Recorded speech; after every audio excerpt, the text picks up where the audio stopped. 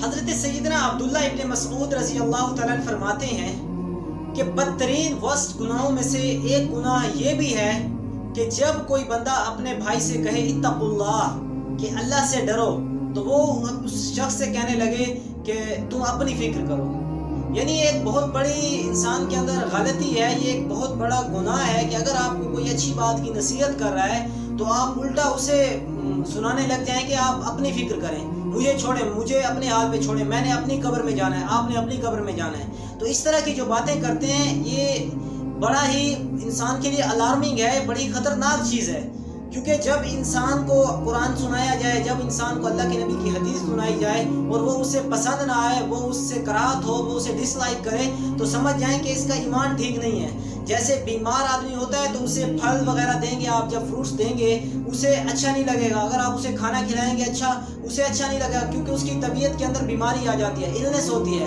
अब इसी तरह जो बंदा जिसकी रूहानी बीमारी हो, जिसके अंदर जो स्पिरिचुअल डिज़ीज़ हो, जिसके अंदर स्पिरिचुअल बीमारी हो, रूहानी बीमारियाँ हों, अगर आप उसको कुरान सुनाएँगे, वो आपको गालियाँ देगा। अगर आप उसको हदीस सुनाएँगे अल्लाह के नबी की, वो आपको गालियाँ देगा। तो ये इंसान के लिए बड़ी अलार्मिंग है, बड़ी ख़तरे की चीज़ है कि बंदा कुरान सुने, हदीस सुने अगर आपको कोई अच्छी बात की नसीहत, अगर आपको कोई नमाज़ की दावत दे रहा है तो आप कहें कि आपने अपनी कब्र में जाना है, मैंने अपनी कब्र में जाना है तो ये रवैया, ये एटीट्यूड ठीक नहीं है। इससे तोबा करनी चाहिए बंदे को और आदमी दूसरों की भी फ़िक्र करे और अपनी भी फ़िक्र करे, यानी अपनी आखिरत भी संवारे और दूसरों की आखिरत भी संवारे।